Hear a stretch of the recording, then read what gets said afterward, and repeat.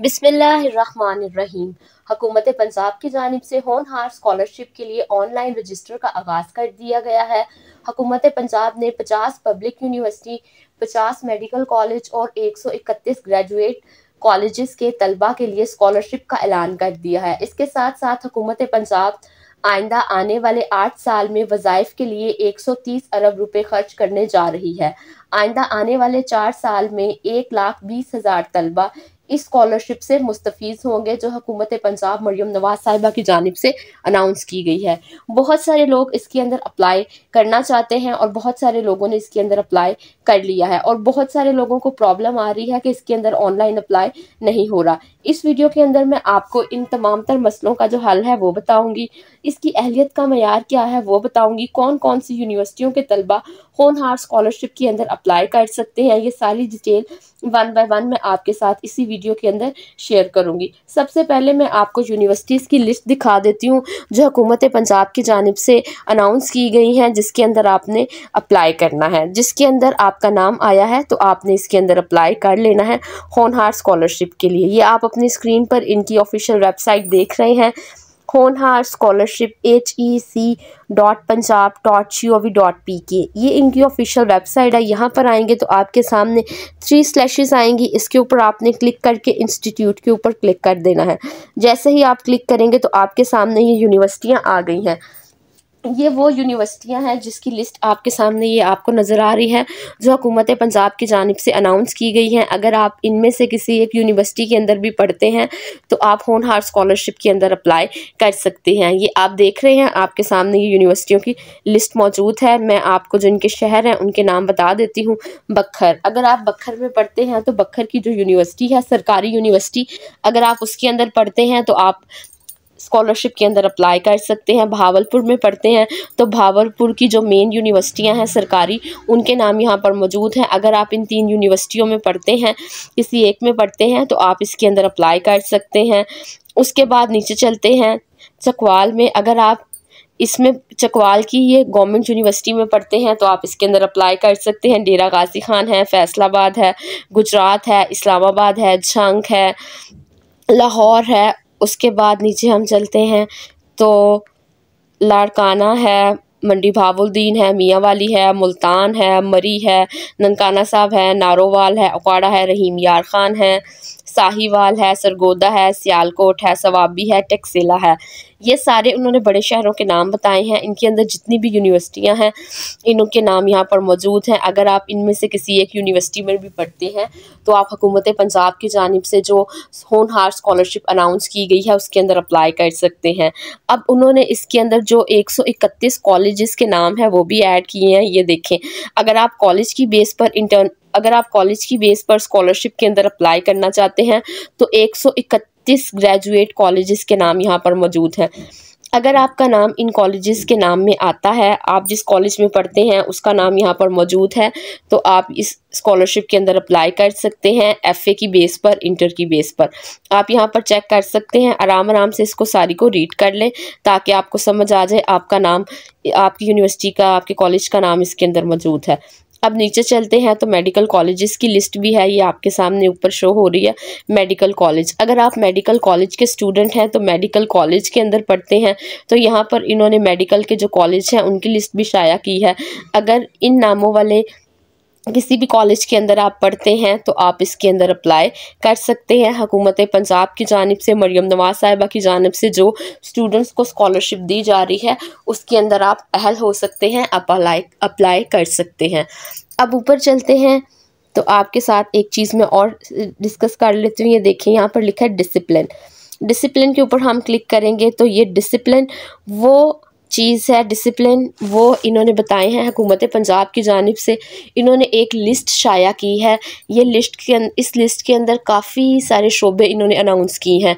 अगर आप इनमें से किसी एक कैटेगरी के अंदर भी इन्वॉल्व हैं आप इसके अंदर तलीम हासिल कर रहे हैं तो हुकूमत पंजाब की जानब से आप इस इंटर्नशिप के अंदर अप्लाई कर सकते हैं, या आपकी स्क्रीन पर आपको शो हो रहा है, आप देख सकते हैं। पहले नंबर पर ही हमारे पास जो है वो आपके सामने देखें कितने सारे लिखे हुए हैं। इंटेलिजेंस है कंप्यूटर साइंस है रोबोटिक है क्लाइम एक्सचेंज है इन्वायरमेंटल साइंस है इंफॉर्मेशन टेक्नोलॉजी है मोबाइल सिस्टम एप्लीकेशन है आर्किटेक्चर है साइबर सिक्योरिटी है data science mining and analytics है। ये सारे अगर मैं बताऊँगी तो ये बहुत सारे लंबे हो जाएँगे, लेकिन आप अपने मुताबिक इसको रीड कर लीजिएगा। अगर किसी एक कैटेगरी के अंदर भी आप स्टडी हासिल कर रहे हैं तो आप हुकूमत पंजाब की जो इंटर्नशिप है, उसके अंदर अप्लाई कर सकते हैं। आपको इसके मतलब और गाइड कर देती हूँ। यहाँ पर एलिजिबिलिटी क्राइटेरिया जो है वो आपके साथ डिस्क्राइब करना है। इनका एलिजिबिलिटी क्राइटेरिया क्या है, वो देख लेते हैं आप। हुकूमत की जानब से पाँच शराइ जो है वो लाजमी करार दे दी गई हैं।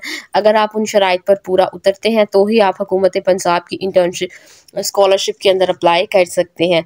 सबसे पहली जो इनकी अहलियत का मैार है अगर आप पंजाब के अंदर रहते हैं, आपके पास पंजाब के किसी भी शहर का डोमिसल है तो आप इसके अंदर अप्लाई कर सकते हैं स्कॉलरशिप के अंदर, जो मरियम नवाज़ साहिबा ने अनाउंस की है।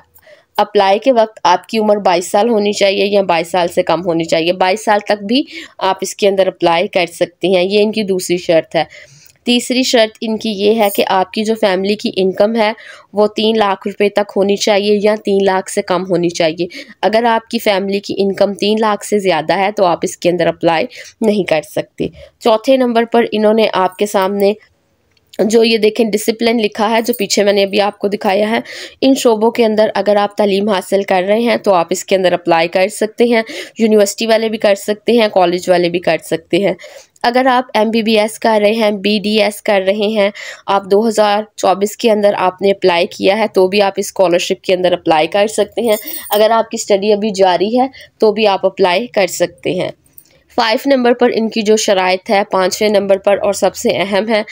अगर आप एफ़ एफ़ एस सी कर रहे हैं इंटरमीडिएट कर रहे हैं तो आपके जो नंबर होने चाहिए, ये इसकी लिस्ट यहाँ पर शाया है। अगर आप मेडिकल कॉलेज की तालीम हासिल कर रहे हैं तो आपकी जो नंबर है, वो अस्सी फ़ीसद होने चाहिए। पंजाब की किसी टॉप यूनिवर्सिटी के अंदर पढ़ रहे हैं तो आपके नंबर अस्सी फ़ीसद होने चाहिए। अगर आप पब्लिक सेक्टर यूनिवर्सिटी के अंदर पढ़ रहे हैं साइंस के साथ आप पढ़ रहे हैं तो पचहत्तर फ़ीसद होने चाहिए। आर्ट्स के साथ आप तालीम हासिल कर रहे हैं तो सत्तर फ़ीसद होने चाहिए। सो सोशल साइंस के साथ पढ़ रहे हैं तो भी सत्तर फ़ीसद होने चाहिए। एच ई डी कॉलेज़ में पढ़ हैं तो सिक्सटी फाइव फ़ीसद होने चाहिए। साइंस के साथ पढ़ हैं तो सिक्सटी फ़ीसद होने चाहिए। आर्ट्स के साथ, आर्ट और साइंस के साथ तालीम हासिल कर रहे हैं तो आपके जो तालीम के नंबर हैं, वो साठ फ़ीसद होने चाहिए। ये इनकी पाँच शराइत हैं। अगर आप इनकी पाँच शराइत को पूरा करते हैं, इस पर पूरा उतरते हैं, इनकी एलिजिबिलिटी क्राइटेरिया पर तो मरियम नवाज़ साहिबा की जानब से जो होनहार स्कॉलरशिप अनाउंस की गई है, आप उसके अंदर अप्लाई कर सकते हैं। आप उसके लिए एलिजिबल हैं। अब नीचे चलते हैं ऑनलाइन के। ऑनलाइन वाले पोर्टल पर, उससे पहले मैं आपको थोड़ी सी इसकी बता दूँ। जब आपने अप्लाई करना है तो आपके पास पहले पर्सनल डिटेल आएँगी। स्टूडेंट की पर्सनल डिटेल क्या है, वो आपने ऐड करनी होगी। दूसरे नंबर पर जो है स्टूडेंट की डिटेल आएँगी। स्टूडेंट कॉल एजुकेशन की डिटेल्स आएँगी। आपके बारे में पूछा जाएगा, आपकी तालीम के बारे में पूछा जाएगा।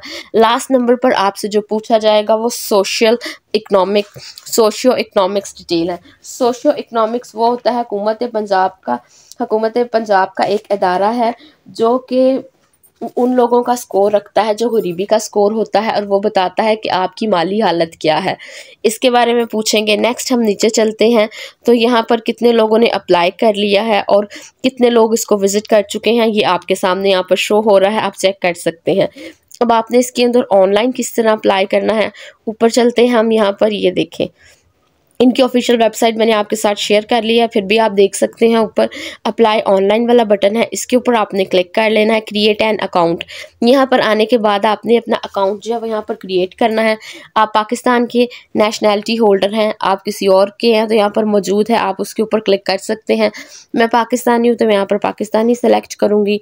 उसके बाद फर्दर इंस्टीट्यूट आप कौन से इंस्टीट्यूट में पढ़ रहे हैं? आप कॉलेज के तहत तालीम हासिल कर रहे हैं यूनिवर्सिटी के तहत कर रहे हैं, या मेडिकल कॉलेज से?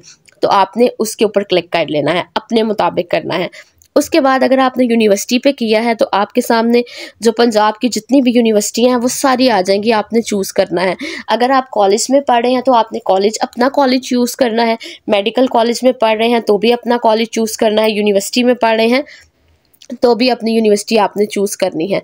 मैंने यहाँ पर यूनिवर्सिटी चूज़ कर ली है। उसके बाद आपने सी एन आई सी लिखना है ईमेल एड्रेस लिखना है पासवर्ड लिखना है और कन्फर्म पासवर्ड लिखना है।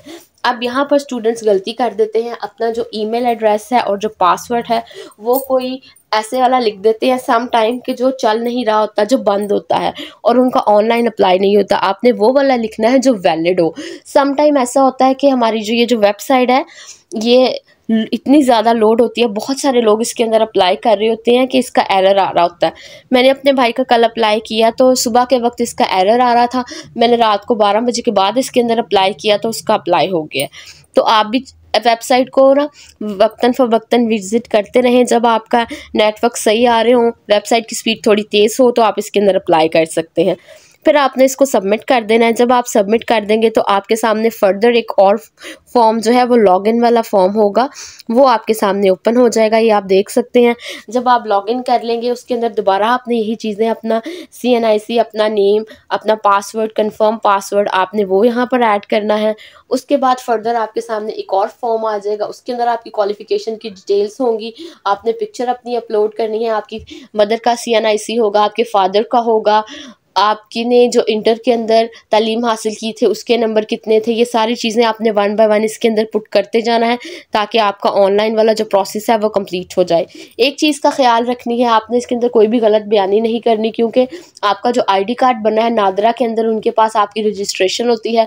अगर आप फॉल इन्फॉर्मेशन देंगे, गलत इन्फॉर्मेशन देंगे तो वो ऑटोमेटिकली नादरा उनको बता देगा कि आप यहाँ पर गलत बोल, गलत बयानी कर रहे हैं तो आपका अप्लाई नहीं होगा। इसलिए जो चीज़ें हैं वो आपने एक्यूरेट लिखनी है। मेरा नाम डीजे है, मेरे चैनल पर मैं डेली बेसिस पर गवर्नमेंट सेक्टर और प्राइवेट सेक्टर की जॉब अनाउंस करती हूँ। हुकूमत पाकिस्तान की जानब से जो आपको सूद के बगैर कर्जे दिए जाते हैं, एक लाख से लेकर पचहत्तर लाख तक, उसकी डिटेल वीडियो मेरे चैनल पर मौजूद है, आप विज़िट कर सकते हैं। अपनी छत, अपना घर स्कीम के अंदर जो नई अमेंडमेंट हुई है, जो नई कुरानदाजी हुई है सेकेंड कुरानदाजी हुई है, उसकी डिटेल वीडियो भी मेरे चैनल पर मौजूद है, आप विज़िट कर सकते हैं। चैनल को सब्सक्राइब किया करें, वीडियो को लाइक और शेयर ज़रूर किया करें ताकि आपके साथ साथ किसी और का भी भला हो जाए। अगर आप चाहते हैं कि मैं स्कॉलरशिप के मतलब मज़ीद वीडियो बनाऊँ तो मेरे चैनल को सब्सक्राइब ज़रूर करें ताकि आने वाली वीडियो से आप फ़ायदा उठा सकें। Thank you for watching